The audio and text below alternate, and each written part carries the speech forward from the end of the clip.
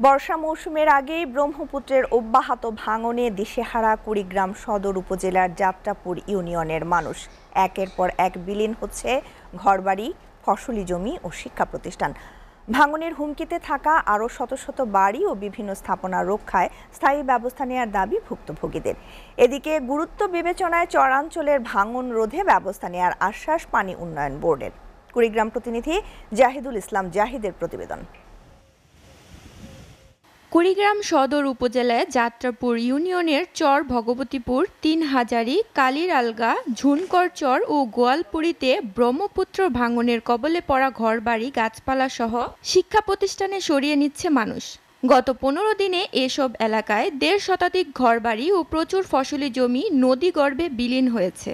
ভাঙনের কবলে পড়েছে কমিউনিটি ক্লিনিক গুচ্ছগ্রাম একাধিক শিক্ষা প্রতিষ্ঠান সহ অসংখ্য ঘরবাড়ি। ভাঙন রোধে সরকারি কোনো ব্যবস্থা না থাকায় হতাশ স্থানীয়রা।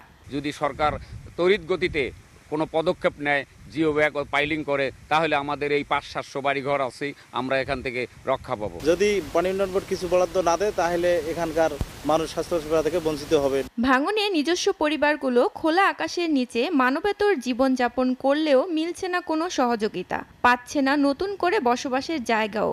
এখানে নদীর যে কবর এই কবলে আমাদের মানে সর্বস্ব হারায় গেছি। এই এলাকায় মোটামুটি পাঁচ ছশো বাড়ি। এই বাড়ি দুইশো বাড়ির মতো অলরেডি এক মাসের মধ্যে ভাঙে গেছে। এই স্কুলটা এক সময় তিনতলা বিল্ডিং ছিল। নদী গর্ভে এসে ভেঙে যায়। এখানে পাঁচ সাত বছর থেকে আছে। স্কুলের সামনে আর দশ গছের মতো জায়গা আছে।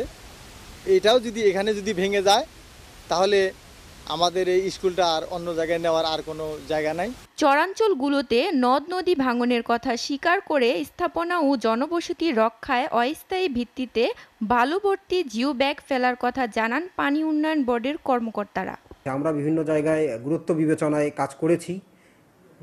বিভিন্ন অগ্রাধিকার নিয়ে আমরা বিভিন্ন জায়গায় জিও ব্যাগে দিয়ে নদী ভাঙ্গন রক্ষা করেছি। এছাড়াও বর্তমানেও যদি কোথাও গুরুত্ব বিবেচনা হয় যেটা জনকল্যাণকর জায়গা হলে পরে আমরা সেখানে কাজের করব নদী ভাঙ্গন রক্ষায় কাজ করব। ভাঙনের শিকার চরাঞ্চলের ঘরবাড়ি ও সরকারি বেসরকারি স্থাপনা রক্ষায় দ্রুত ব্যবস্থা নেওয়ার দাবি ভুক্তভোগীদের। SA TV news desk.